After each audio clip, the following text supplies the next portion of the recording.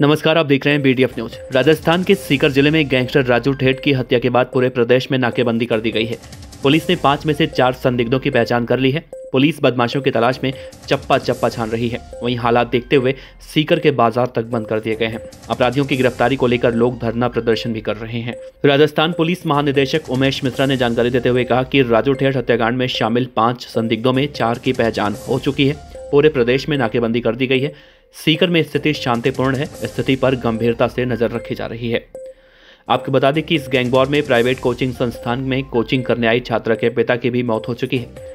छात्रा नागौर ज़िले के छोटी खाटू थाना इलाके की रहने वाली है। वो सीकर में एक निजी कोचिंग संस्थान में नेट की तैयारी कर रही थी। यहाँ एक निजी हॉस्टल में रह भी रही थी।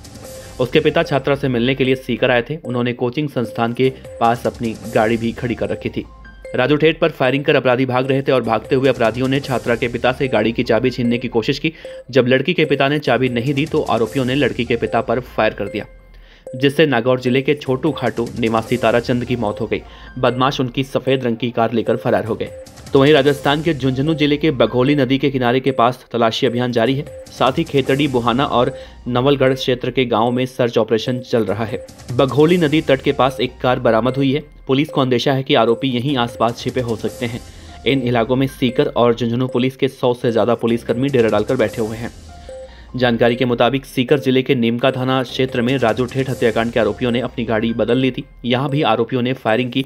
नीमका थाना बहरोड, हरियाणा सीमा के बहुत करीब है, जिस गाड़ी को बदमाशों ने नीमका से बदला, उस क्रेटा कार का number R J forty five C H one seven eight six बताया जा रहा है। इस गैंगवॉर के बाद सीकर ज़िले में बदमाशों की गिरफ्तारी की मांग को लेकर धरना प्रदर्शन शुरू हो चुका है। कल्याण अस्पताल के मुर्दा घर के बाहर, लाडुनु विधायक मुकेश भाकर और राजस्थान विश्वविद्यालय के अध्यक्ष निर्मल चौधरी के नेतृत्व में बड़ी संख्या में लोग धरने पर बैठ गए हैं।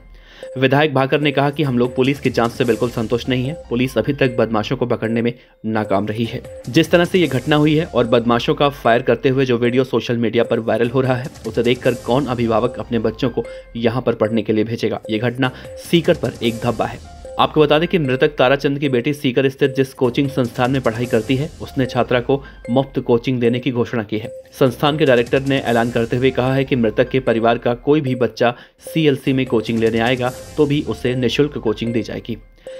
राजू ठेठ की हत्या के तार गैंगस्टर लॉरेंस बिस्नोई और काला जठेड़ी गैंग से जुड़ रहे हैं। इसे पुलिस एनकाउंटर में मारे गए गैंगस्टर आनंद पाल की मौत का बदला कहा जा रहा है। इस हत्याकांड की ज़िम्मेदारी हिस्टर शिटर रोहित गोदारा ने ली है। रोहित गोदारा के खिलाफ राजस्थान के अलग अलग थानों में गंभीर धाराओं के तहत कई आपराधिक मामले दर्ज हैं।